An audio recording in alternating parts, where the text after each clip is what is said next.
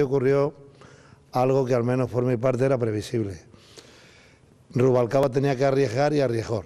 Arriesgó y planteó eh, cuestiones concretas en materia de empleo y sobre todo dijo algo, a mi juicio, de una gran importancia, aunque parezca un tema meramente temporal, que es cuando eh, manifestó que se comprometía a plantear el retraso en el déficit público del 3% del 2013 al 2015. Ese es un tema fundamental para conciliar la lucha contra el déficit y eh, la reactivación económica. Y eh, Rajoy no tenía por qué arriesgar y no arriesgó.